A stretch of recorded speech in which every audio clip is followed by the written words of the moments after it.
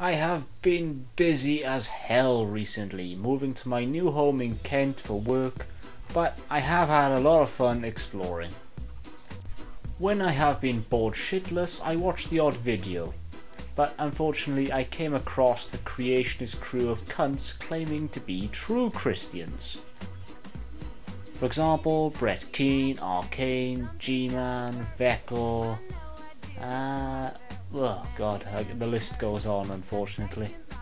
In their discussions, they have compared people who believe in the Bible literally to people who accept facts like the Big Bang and, yeah, evolution.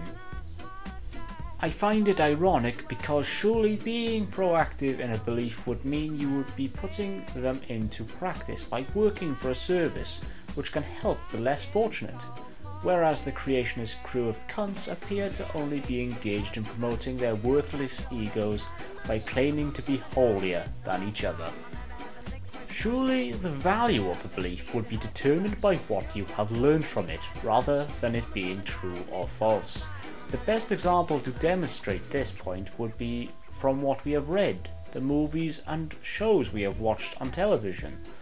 The moment you start seeing these characters as real, is when you fail to see the moral of the story.